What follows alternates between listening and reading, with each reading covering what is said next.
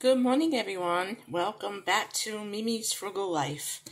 Today, I'm going to be doing some meal planning and explaining what I did make good use of over the weekend. So, we're going to start with the weekend. I had a family dinner here with my daughter, my son in law, and my granddaughters, and we had a blast. Now, usually on a Sunday, I do a roast and, you know, the roast potatoes, a salad, the sides, and all that. Um, or I do like an Italian macaroni meatballs, veal cutlet, whatever. But I wanted to do something fun that we would all enjoy. Um, little did I know that, that, that it was really going to be a big hit. We had a Mexican buffet. I had made um, chicken white bean chili. I made regular chili with black beans, Spanish rice. Uh, we had quesadillas. I had all the fixings, um, and then I splurged and I bought some um, dessert for later in the day because I had to go to the grocery market um, to get a few things. I ran out of um, case uh, tortillas and I ran out of um, sour cream, so I had to go to the store anyway.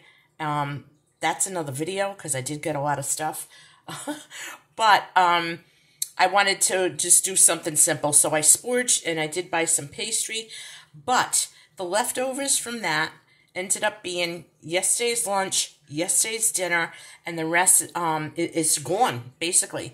Um, the chili chicken, um, there was uh, chicken chili, there was a lot left over, so I put it in the freezer. Now, keep in mind, I gave a lot to take home with my daughter, so they're enjoying that as well. They said what they don't eat right away will go in their freezer. So it was a blessing. The day was a blessing. The food was a blessing. We had a great time. But now it's time to get back to reality. Um, I got some things going on in my kitchen, and seeing that it is snowy out today, we got about three or four inches. Hopefully, it melts because um, the streets look pretty clear now. But you know me and my crock pot, and I can't help but make some chicken soup. So I threw in some um, chicken thighs and some garlic, and I'm going to finish seasoning that up. And um, I like a very hearty soup, so it's going to have a lot of veggie in it. Um, no more celery, folks. Don't laugh at me, but I ran out of celery and I'm not too thrilled. Um, I am going to make a loaded salad. I have some bell peppers and some other items that I'm going to add to it. It's going to be a nice soup and salad dinner, and I get plenty of protein because I'm using a lot of chicken in this soups and a lot of veggies, so I am not undernourished. I will survive. So what I'm doing with the rest of the chicken is I'm planning ahead. It's all thawed, so why not? I am making my father's phenomenal creation. It's um, chicken thighs marinated in garlic and balsamic vinegar. And it's just so simple. You put your chicken in a pan baking dish. Use um, I used a lot of garlic powder and fresh garlic. I used my own fresh dried parsley from my garden. And I didn't add any salt or pepper or anything. I just added balsamic vinegar. And that is going to marinate. Now, the longer this marinates, the better it is. So it's not something that you want to do last minute.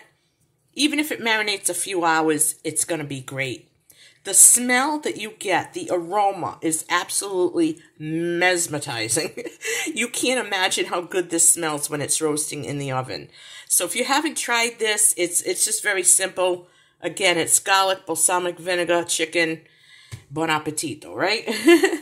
um, for tonight, or for when, when I have the chicken, I am definitely going to have the garden green beans that I rehydrated because they came out very well.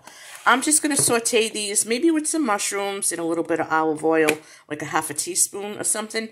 And that's going to be a really good, um, good prep that I had in my pantry. I think that's about all that I'm going to be doing today. What I am going to do is use up some of the um, non-protein items that I had um, from Sunday. Uh, I will add a dab of sour cream to a uh, tortilla, and I will have a veggie one. So, I don't know. I might throw some cheese on there. I just might make it a, a, a quesadilla. I don't know. But anyway, I'm going to be using that up today. The benefits of having a full pantry were phenomenal. Yes, I did have to run out for two items. but most items I had on hand. I even had the my own items to make my own salsa for everything, and everyone loved it. It was delicious.